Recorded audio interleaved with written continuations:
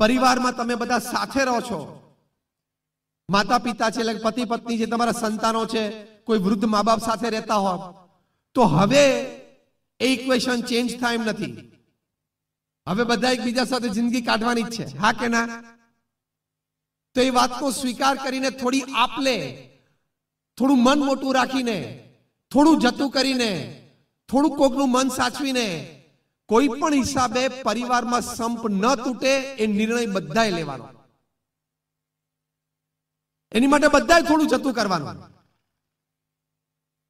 પરિવારમાં સંવાદિતતા માટે, સુરત ભાવ માટે ચાર સરસ શબ્દો વાપરતા.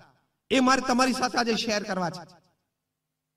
એ કહેતા કે માથે બરફ મૂકીને, મન ગમતું મૂકીને હક દાવો મૂકીને દેહને ઘસી નાખું, તો સુરત ભાવ અને સંવાદિતતા ટકશે. પરિવારમાં કેવી રીતે રહેવું? માથે બરફ મૂકીને. એટલે શું? થોડી થોડી વાતમાં ઇરિટેટ નહીં થઈ જવાનું. થોડી થોડી વાતમાં ફ્રસ્ટ્રેટ નહીં થઈ જવાનું. માથે બરફ મૂકીને એટલે એમ નહીં સમજવાનું કે આજનું કામ કાલે કરીએ. શાંતિથી, એ વાત નથી. માથે બરફ મૂકીને એટલે ધીરજ રાખવી. સમજવાનો પ્રયત્ન કરવો. માથે બરફ મૂકીને, પહેલી વાત. મન ગમતું મૂકીને, બીજી વાત. હક અને દાવો મૂકીને, ત્રીજી વાત. અને ચોથી વાત, મારે મારા દેહને ઘસી નાખો, મારે સમર્પિત થવું પરિવાર માટે એ ભાવનાથી પરિવારમાં જીવવાનું. કેમ આટલી બધી ભાવના રાખવી પડશે? તો જ પરિવારમાં સંવાદિતતા ટકશે. દરેક પરિવારજન માટે આ સંદેશ છે. હમણાં અમેરિકામાં હાવર્ડ યુનિવર્સિટીમાં એક સર્વે થયો. દુનિયાના એકસો ને દસ દેશોમાં સર્વે થયો. આઠ વર્ષ સુધી આ સર્વે ચાલ્યો. અને એક લાખ પરિવારોમાં સર્વે થયો. Across caste creed colour religion nationality બધાને એક જ પ્રશ્ન પૂછવામાં આવ્યો. કે તમારી દ્રષ્ટિએ જીવનમાં કોઈ પણ વ્યક્તિ માટે સર્વોચ્ચ સુખ શું છે?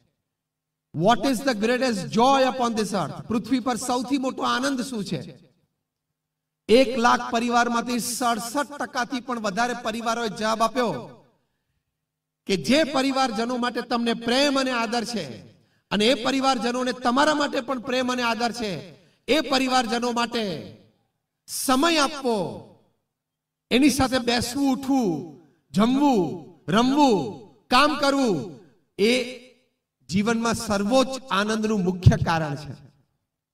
એ આનંદ જો આપણે લેવો હોય, તો આ ચાર મુદ્દા યાદ રાખવા પડશે. માથે બરફ મૂકીને, મન ગમતું મૂકીને, હક દાવો મૂકીને દેહને ઘસી નાખવું થોડી થોડી વાત માટે અહમ ના આવવા દેવા. તો પરિવારમાં વિખવાદનું મોટું કારણ છે. અહમ. દરેક વડીલને એમ હોય કે હવે હું વડીલ થયો એટલે હવે બધાય મારું માનવાનું, મને પૂછવાનું, એવું બહુ રાખવાની જરૂર નથી. પૂછે તો રાજી થવું, સલાહ આપવી અને ના પૂછે તો એની રીતે કામ કરવા દેવું. નહીં તો પ્રશ્ન ઊભા થશે. અને ક્યાંક સૂચનો તો પ્રેમથી કરવું એની ના નથી. તો બીજી મોટી વાત છે પરિવારમાં સંવાદિતતા માટે. Don't let the I play its big role અહમ છે બહુ મોટો ભાગ ભજવી ન જાય એ ખાસ ધ્યાન રાખવાનું. કારણ કે અહમના પ્રશ્નો પરિવારમાં ખૂબ છે. અને એ પ્રશ્નોના લીધે જ આ પરિવારમાં મોટી વિસંવાદિતતા સર્જાય છે. ત્રીજી એક વાત છે કે તમે જ્યારે તમારે દીકરીને સાસરે વળાવો ત્યારે થોડી સારી સલાહ આપજો. તમે આપો જ છો, પણ વિશેષ. પ્રમુખ સ્વામી મહારાજ એક વખત ત્યાં વિદ્યાનગરમાં હતા. એક ભાઈ એમના બંને દીકરીઓના લગ્ન નક્કી થયા એટલે બે દીકરીઓની કંકોત્રી લઈને પ્રમુખ સાંઈ મહારાજ પાસે આવ્યા. અને પ્રમુખ સ્વામી મહારાજને કહ્યું કે મારી બંને દીકરીઓના લગ્ન એક માંડવે મેં રાખ્યા છે બંને કંકોત્રી છે, આ પ્રસાદી કરી આપો, આશીર્વાદ આપો. પ્રમુખ સાંઈ મહારાજે ભાઈના હાથમાંથી કંકોત્રી લીધી, પુષ્પ પધરાવ્યા, ચાંદલા કર્યા અને પાછી આપી અને કહ્યું કે બંને જણાનો સંસાર સુખી થાય માટે અમે પ્રાર્થના કરીએ છીએ. પછી પ્રમુખ સ્વામી મહારાજ એમને સરસ સલાહ આપી. પ્રમુખ સ્વામી મહારાજે કહ્યું કે તમારી દીકરીને સલાહ આપજો કે બેટા, ત્યાં ઘર છે, નવું છે. ત્યાંના લોકોની રહેણી કેણી આપણા ઘર કરતા જુદી હોય ઉઠક બેઠકની રીત જુદી હોય, બોલવા ચાલવાની રીત જુદી હોય ખાવા પીવાના સમય જુદા હોય ખાવા પીવાની રસ રુચિ જુદી હોય. તો બેટા, બે વર્ષ સુધી શાંતિથી તું ત્યાં જોજે, સમજજે, ધીરજ રાખજે, વ્યક્તિઓ સાથે જેલિંગ એટલે સારી રીતે ભળી જવાય પરિવારમાં, એની માટે તું પ્રયત્નશીલ થજે. આ પહેલી સલાહ આપજો. એને એવું ના કહેતા કે બેટા કઈ તકલીફ હોય ને, તો તરત ફોન કરી દેજે. આપણે આ સલાહ આપીએ છીએ. આ ખોટી સલાહ છે. પ્રમુખ સાંઈ મહારાજને કહ્યું કે તમારે તમારી દીકરીને કેવું કે બેટા, હવે તારું ઘર છે. તું ત્યાં સમજીને રે, એમાં તારી શોભા છે, અમારી શોભા છે, એ ઘરની શોભા છે.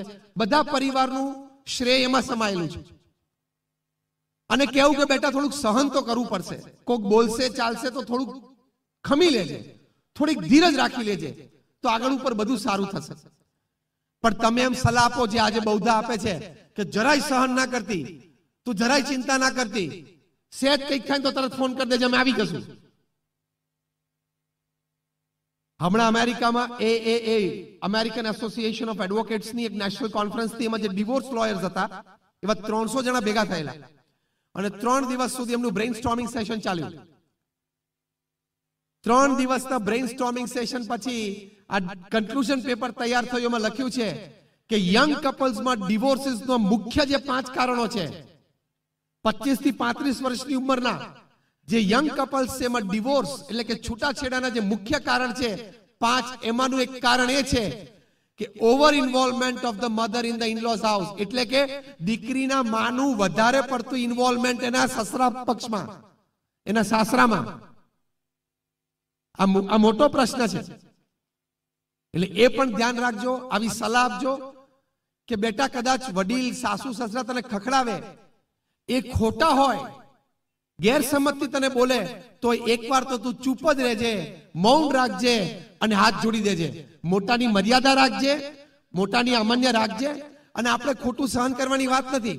બે દિવસ પછી પરિવારમાં બધા શાંતિથી બેઠા હોય અથવા એકલા વન ઓન વન મળીને કેવું કે, બા, તમે આ પરમ દિવસે મને આ કહ્યું. તમે આમ સમજ્યા, પણ પ્રસંગ આમ બનેલો અને માહિતી આમ હતી. એવું બે દિવસ પછી ચોખવટ કરવી. ત્યારે વડીલોને સાસુ સસરાને પણ એમ થાય કે દીકરી ખાનદાન છે. સંસ્કારી છે. સામે નથી બોલતી. આ ખૂબ જરૂરી છે. એટલે બધા યંગસ્ટરે આ સમજવાનું. દીકરા હોય કે દીકરી હોય વડીલની અમાન્ય રાખવાની જ. એ બોલે એકવાર એટલે એકવાર સાંભળી જ લેવાનું. હાથ જ જોડવાના. વડીલોની મર્યાદા રાખવાની છે. પરિવારમાં સંવાદિકતા રાખવાની છે. સમાજની સુવ્યવસ્થા જાળવવાની છે. અને હા તમારા મનમાં કંઈક વાત હોય તો મામલો શાંત પડે પછી પ્રેમથી કોને? તો એ લોકોને પણ તમારા પ્રત્યે આદર થાય કે દીકરો સંસ્કારી છે, દીકરી સંસ્કારી છે. અને ફરી વખત કંઈ કહેવું હોય તો બે વાર વિચારીને કે, પણ તરત તમે સામે બાઈ ચડાવો, તરત બોલવા માંડો, તો પરિવારમાં સંવાદિતતા કેવી રીતે રહેશે? એટલે ખાસ બધા સમાજમાં આ વાત રાખજો કે વડીલ કદાચ ટોકે વઢે તો સામું નહીં બોલવાનું. એમ આઈ રાઈટ ઓર રોંગ હા, બધા સમજતો હાથ ઊંચો કરો. આ વાતમાં સહેમત હોય તો. વેરી ગુડ એની અમાન્ય રાખવી જ પડે. તો આ એક સુવ્યવસ્થા છે સમાજની. એ ખાસ જાળવજો. અને છેલ્લી વાત એ કરવાની કે સોશિયલ મીડિયાનું ખાસ ધ્યાન રાખજો, નહીં તો પરિવારમાં સંવાદિતતા તૂટશે. આ કોન્ફરન્સમાં આ વાત પણ નક્કી થઈ કે જે છૂટાછેડાના મુખ્ય પાંચ કારણો છે, એમાંનું એક મોટું કારણ એ પણ છે over exposure to social networking sites તમે પરિણિત છો, પરિવારમાં છો. તો તમે સોશિયલ નેટવર્કિંગ સાઇટ્સ ઉપર જાઓ છો કોઈક રશિયામાં કોઈક બ્રાઝિલમાં એની સાથે ચેટિંગ ચાલુ કરે. તારે કોઈ દિવસ મળવાનું નથી. તારે કોઈ દિવસ એને કઈ મળવાનું નથી. અને એ કોણ છે તને ખબર નથી. એનું બેકગ્રાઉન્ડ શું છે ખબર નથી. ખાલી સારી સારી વાતો કરે સ્માઇલ આપે એમાં ચાલુ વાતો બધી. મૂર્ખામી કહેવાય. પછી પરિવારમાં બધાને શંકા જાય કે ના જાય? પછી પ્રશ્ન થાય કે ના થાય? તો એ ખાસ ધ્યાન રાખવાનું. કે સોશિયલ નેટવર્કિંગ સાઇટ્સ એકવાર આપણે પરિણિત થાય અને ફેમિલીમાં છે તો ભાઈ જરૂર જ નથી. એના કરતા તમારા ધંધાકીય સંબંધો હોય, સામાજિક સંબંધો હોય, જે પ્રત્યક્ષ રોજ મળવાના છીએ, પ્રસંગો મળવાના, એની સાથે સંબંધો વધારો ને. અને ઘણી વખત તો એ વ્યક્તિ કોણ છે ખબર નથી, એનું જેન્ડર એ ખબર નથી હોતી. એ પુરુષ છે કે સ્ત્રી છે એ ખબર ના પડે. હકીકત છે ને? એ તો આધાર કાર્ડનું લિંકિંગ થશે ને પછી ખબર પડશે કે હું જેને ડોલી કહીને વાર્તાલાપ કરતો હતો ને તો ભગો ભરવડ બાજુમાં જ રહે છે. એ પેલું આધાર કાર્ડનું લિંકિંગ થશે ને પછી ખબર પડશે. થશે. એટલે બી વેરી કેરફુલ જો એમાં ચારિત્રમાં ખામી આવી તો આ પ્રશ્ન આવશે જ. એટલે આ પણ ધ્યાન રાખજો કે પરિવારમાં વિસંવાદિતતા ના થાય. પરિવારને તમે સમય આપજો. રાત્રે અગિયાર બાર વાગ્યા સુધી મોબાઈલ ચાલુ રાખવાની જરૂર નથી. કઈ ચિંતા ના કરતા? દેશમાં કોઈ બહુ મોટો નિર્ણય તમને પૂછ્યા વગર લેવાઈ જાય તો બહુ ચિંતા ના કરતા. તમારે એમ નહીં સમજવાનું કે મને ઘણી બધી ખબર છે ટુ જી થ્રી જી જૂનું થઈ ગયું. રાફેલ, અત્યારે હમણાં જેમ વાત કરી, સીએ, પછી એનપીઆર, એનઆરસી, બધાની ઘણી બધી મને ખબર છે.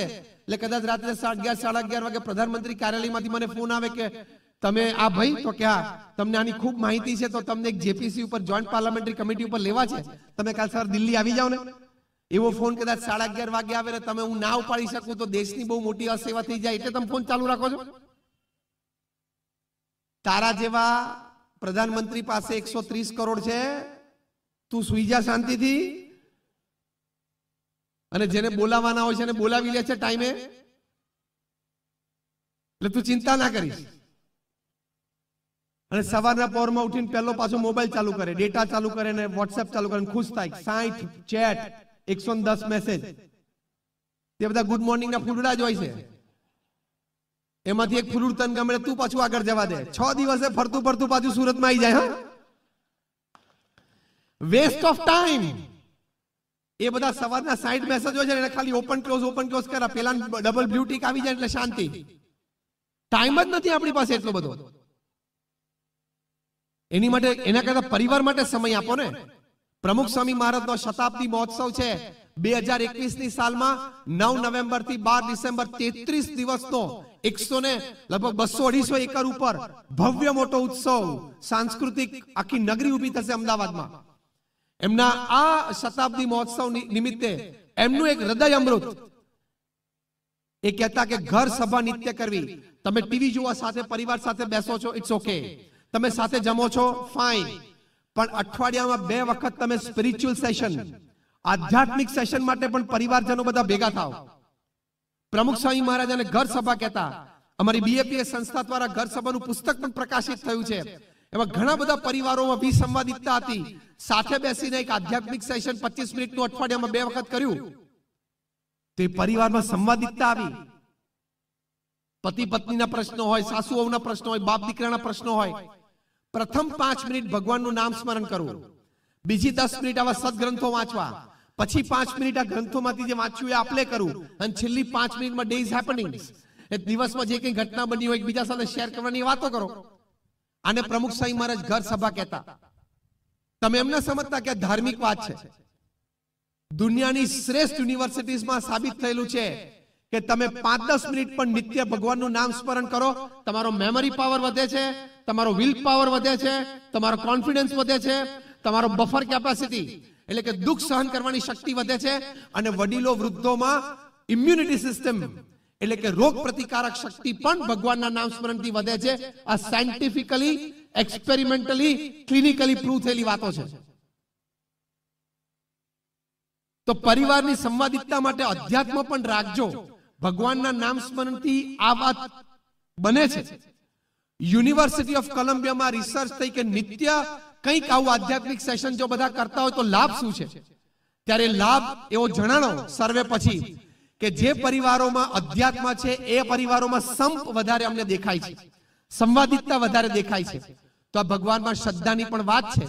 તો આવા થોડાક વિચારો આપણે પરિવારજનો સાથે લઈને આ સ્નેહ સંમેલનમાં જઈએ. તો આપણા પરિવારમાં પણ વધારે સંવાદિતતા સદાય. એવી બળ, બુદ્ધિ, શક્તિ આપ સૌને હંમેશા રહે. એવી ભગવાન સ્વામિનારાયણ ચરણોમાં આપ સૌ માટે અમે આજે પ્રાર્થના કરીએ છીએ.